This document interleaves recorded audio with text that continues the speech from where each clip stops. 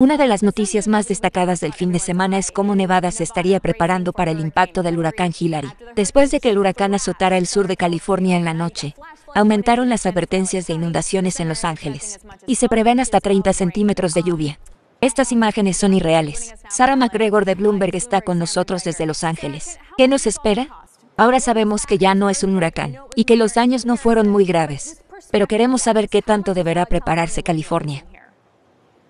Cuando nos levantamos vimos las primeras consecuencias de esta tormenta, y los funcionarios locales de todo el país hicieron un buen trabajo advirtiéndonos sobre ella. La mayoría de la gente se quedó en sus casas y eligió cuidarse, ya que les recomendaron que no se acerquen a la playa a observar esta tormenta tropical histórica, la primera en más de 80 años en azotar el sur de California, por lo que no hubo muertos ni daños estructurales importantes. Estamos viendo imágenes de inundaciones generalizadas en lugares como Palm Beach y áreas más montañosas, pero tendremos que esperar un poco para evaluar todas las consecuencias de este huracán.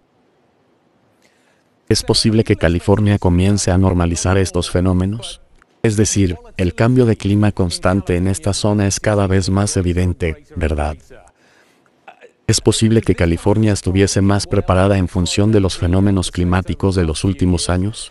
Ya se prevé un clima muy caluroso en esta zona, además de este tipo de inundaciones repentinas más frecuentes. ¿O será que realmente estos fenómenos meteorológicos están normalizándose cada vez más? Debería ser muy inusual que llueva en agosto, y mucho menos que haya estos niveles de precipitaciones. No es la temporada de lluvias de esta zona, y quería hablar sobre algo relacionado a lo que mencionaste. En medio de toda esta lluvia ayer, a media tarde, hubo un sismo de magnitud 5.1 que azotó cerca del área de Los Ángeles. Asimismo, la tendencia en Twitter ayer fue huracán, lo que me hace pensar que este tipo de desastres naturales están en la mente de todos, especialmente en California. Pero mucha gente dice que esta lluvia es en realidad una buena señal ya que esta humedad podría prevenir una temporada de incendios grave en California. Estamos intentando hacer un análisis de lo bueno y lo malo y ser optimistas.